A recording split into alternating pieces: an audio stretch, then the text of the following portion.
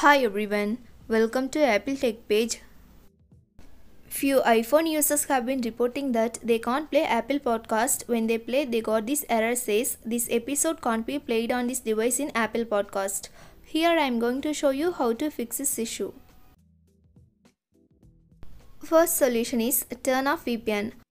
For that, launch Settings app. Next, tap on General. Tap on VPN and device management.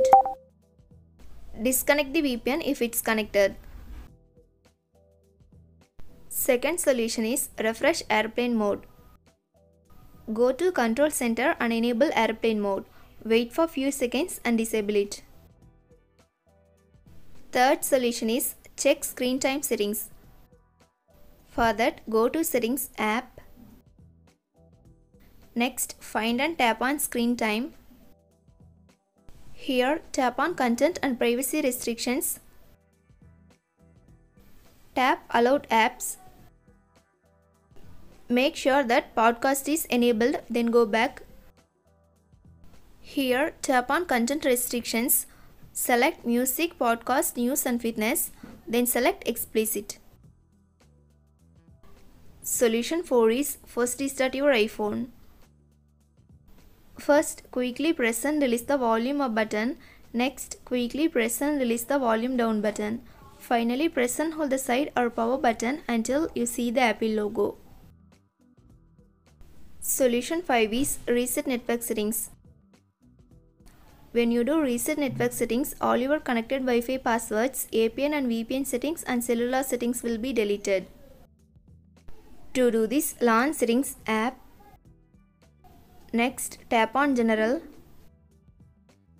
Scroll down and tap Transfer or Reset iPhone. Here, tap on Reset Tap Reset Network Settings. Enter the passcode of your iPhone if prompted. Tap Reset Network Settings in the pop-up window to confirm the process. Solution 6 is delete podcast app and reinstall it. First, touch and hold the podcast app until you get these options. Tap remove app, then tap delete app. Again tap delete to confirm the process.